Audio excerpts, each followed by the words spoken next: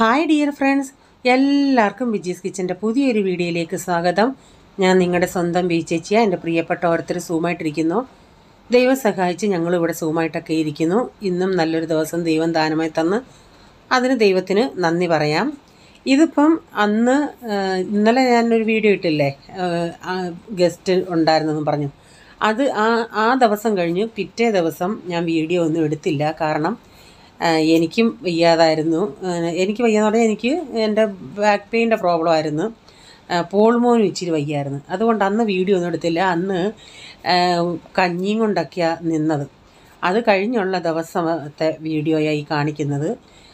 രാവിലെ ബ്രേക്ക്ഫാസ്റ്റിന് ഇഡലിയും എടുത്തായിരുന്നു. ഇഡലി ഇവർ പിന്നെ പോൾമോന് പ്രൈസമ്മോനും ടിഫിൻ കൊണ്ടുപോകാനായിട്ട് മസാല ഇഡലി ഉണ്ടാക്കി.